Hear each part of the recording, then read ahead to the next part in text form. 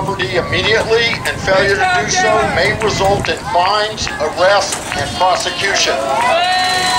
Persons disturbing, moving, or removing any structures or other items outside of the immediately fenced line of this property or making any alterations to the property, such as erecting structures, will be subject to arrest and prosecution. You're not making a structure, because that was your number one complaint was building structures. But if they have no plan to erect structures, is that okay? Because that's not what they're here for. They're not here to make a building.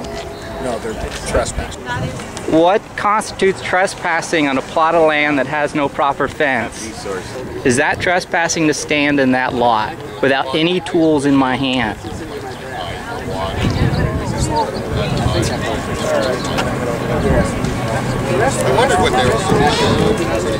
Is it trespassing if I don't work the lot? So if I just stand in the lot, can I do that? Yeah. I did last night. Oh, was it last night? Hey, maybe you don't even know. If I stand in that lot, am I a trespasser? And will I be arrested? If I stand in that lot, will I be a trespasser? Will I be arrested? What are the rules? Sometimes the UC just vaguely says stuff like, oh, you're all criminals, you're all going to be arrested. But when it comes down to the actual details,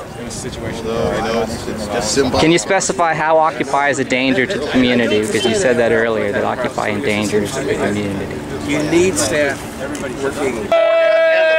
Of the University of California at Berkeley. This mixed-use property is owned by the Regents of the University of California and is not open to the public. Persons entering or remaining on this property without permission from the Regents of the University of California are trespassing and in violation of 602 of the California Penal Code.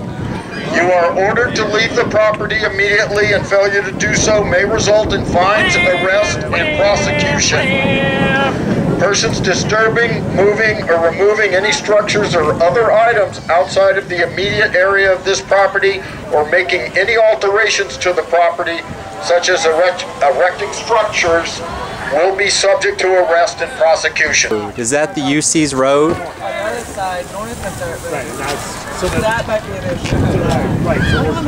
You don't even know.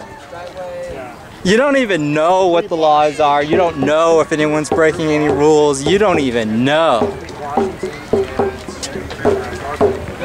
This is a serious question. Is this road UC pro you might know because you work with the council. Anyone here work with the council? Does this road that I'm standing on belong to the UC? You can't even answer that because you don't even know.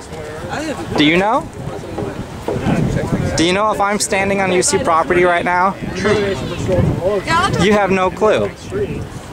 You have absolutely no clue if I'm standing on UC property right now.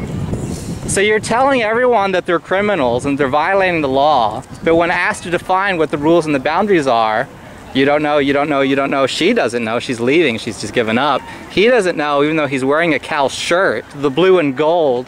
You obviously represent Cal, but you can't tell me if I'm standing on UC property or not because you don't know. Huh. You don't know, even though you're a counter protester who says that people are invading, but you can't even define the property that they're invading. So when it comes to arrest these people, how do you decide who violated the law? You don't know. Regents of the University of California, and it's not open to the public. Persons entering or remaining on this property without the permission of the Regents of the University of California are trespassing. Alterations to the property, such as erecting structure, structures, leave the property immediately, and failure to do so may result in fines, arrest, and prosecution. Persons disturbing, moving, or moving or removing any structures. Name one. You want to be right there? Sure, no problem. So I'm not trespassing. Where are you going? You're right there on the sidewalk or on the street? Sure, you're fine.